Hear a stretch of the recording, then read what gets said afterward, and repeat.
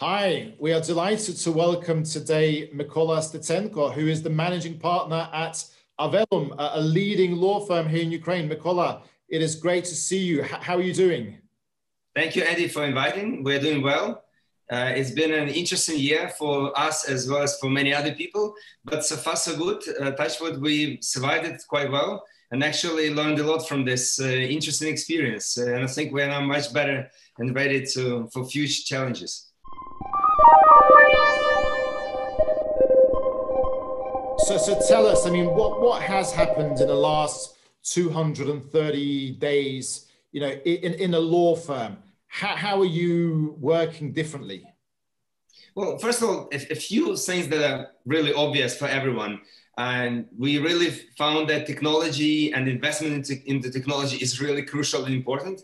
And uh, we're happy that we have invested heavily into it um, the, the, value of people uh, that, that we have is, is crucial uh, in any business, but especially in our business. And we really kind of felt that this was uh, acute to us. Uh, communication, uh, also obvious thing, it, it, it, it, turned out to be really important to speak to people, to communicate to people. And I think we still can do more even now, but um, uh, at least we're doing the basic minimum that, that is um, we, used to do in the office. Uh, you would meet people, but now you need to do it quite often online. So, and the uh, and the office use is uh, we, we are now rethinking uh, how we how we can use our office and what we need with what we don't need. But these are the obvious things that everyone kind of um, had in their minds. What is less obvious to us?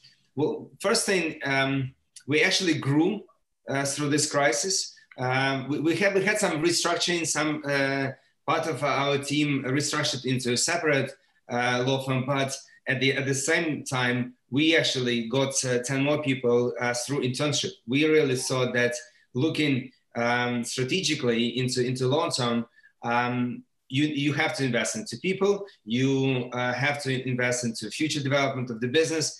And it's really important to help from the social perspective, to help students who just graduated to find their job. So we decided to continue our internship program uh, which was a, bit strange because it was in the middle of the lockdown. So uh, not many people were in the office, but we managed and we, um, we got a healthy bunch of uh, 10 uh, uh, new um, junior attorneys who passed successfully through internship. Um, and I hope they will pass through the rest of the program and will become proper associates with us. Um, we it was a surprise to us as well that we were actually quite ready for the in terms of technology uh, to do this online. We've been doing the remote desktops for, for years, but um, when you do it uh, occasionally, that's one thing. When you do it uh, on, a, on a daily basis, that's another thing. But it, it turned out to be that, that we were quite, quite prepared. And, and um, another thing that um, I call it lockdown legalized um, the webinars. If you remember, um, uh, the technology was there for, for, for quite a while. Uh, we could do webinars, all of us, uh, on a regular basis, but we didn't. We preferred live meetings with, with clients, with colleagues. And, um, but now uh, with the lockdown, uh, everyone is into webinars. And I actually think there are a lot of uh, advantages to it. It doesn't mean that you don't have to do live meetings. It's important. But actually, when you do educational webinars, educational uh, breakfast as we used to do. It's actually, it saves a lot of time to our clients, to us, uh, and people find it really useful. And you can, you can record it and then send it, uh, send the recording to, to our clients afterwards.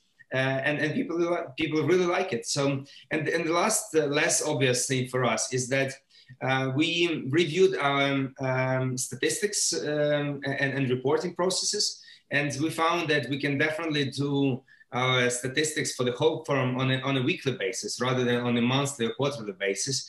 And um, it, it, gave us the opportunity to feel the firm on, on a really almost daily basis. So um, I think uh, despite all the challenges, we uh, got out of the first part of the lockdown at least uh, quite quite strong uh, and um, uh, and healthy. So well, that, that's fascinating. I think what you mentioned about the interns, I think that that's just so good to hear that um, you know you are taking on the, the interns and uh, bringing them in straight straight from university. I think that, that that's a real sort of international practice program that we have seen across you know the UK and the US, and I think that's that's great to hear. But you know, in terms of, I mean, we always hear about the the, the challenges, um, but opportunities. I mean, what what what have been the, been the key opportunities that you've seen sort of in the business? And then secondly, you know, this the, the fact that you're saying that you're already reviewing the, the, the, the office, what, what, why do we need an office? I think, you know, many, many organizations are looking at this now. And, you know, what, what's your thing? Where, where are we going to be post COVID? I mean, uh, is this the new normal? Um, I think it's definitely a new normal. Uh, in terms of opportunities, for, for clients, nothing has, we, we saw that there will be a lot of distressed M&A.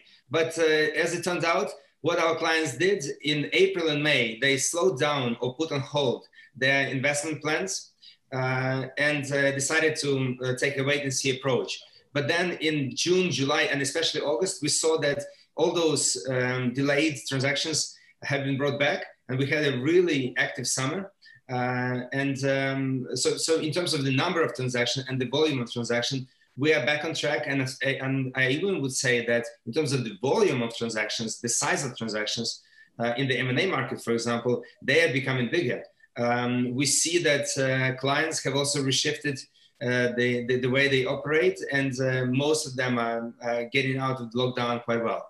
So, in terms of opportunities for clients, we just uh, need to go through that low period in April and May, and then be ready for, for, for the new challenges.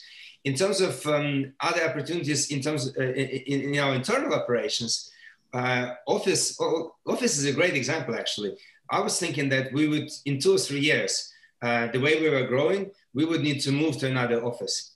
Uh, and uh, now I'm looking back at this and thinking, well, actually, given that we are working in in a way, we, we don't have formal shifts, but we work in a way in the shifts um, you usually have 20 to 30% of all of our staff in the office at the same uh, at one time.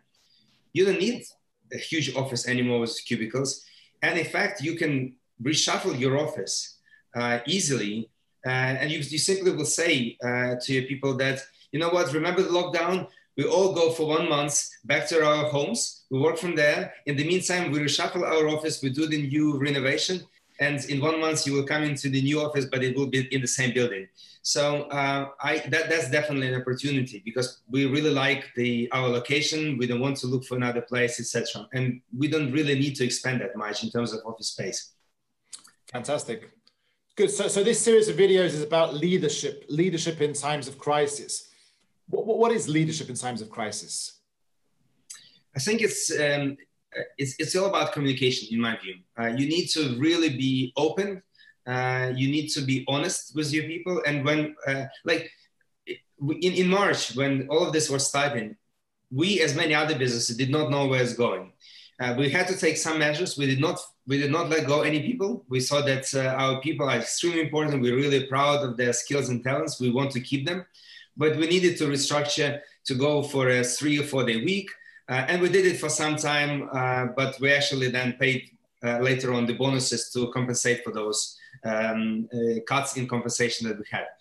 But um, we did not know what, what, was going on. So we, we tried to be as honest as possible with our uh, people to explain to them that, uh, yes, it is a liquidity uh, or cash management exercise for us.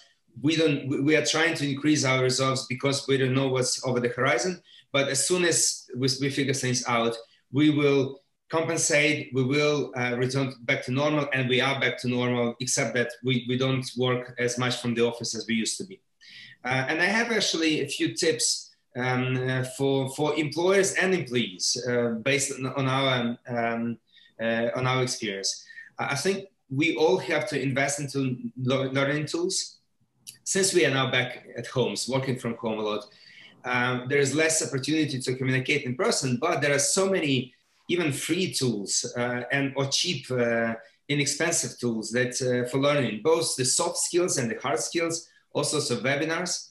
Uh, we as employers need to encourage our employees to uh, actually utilize that, that opportunity, and our employees should be prepared to do that, to do the self self learning. So we need to encourage people to self educate.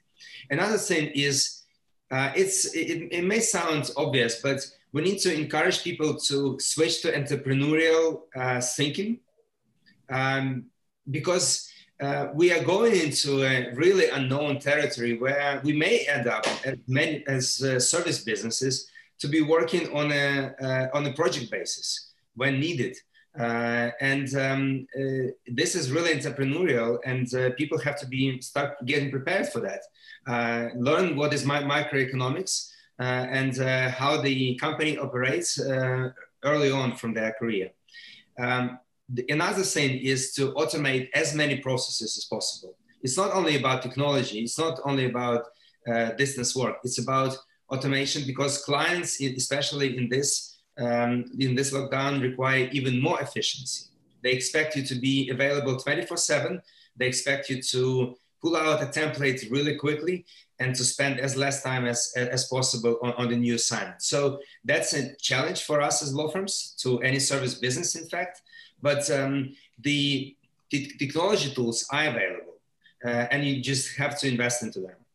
Uh, so um, I think um, we're going we're going in the right direction. That's wonderful. And a final question: What would your one message be to the members of the American Chamber of Commerce in Ukraine? I thought you would ask about that. Uh, my message is plan for the recovery. The recovery will come for sure. It's around the corner.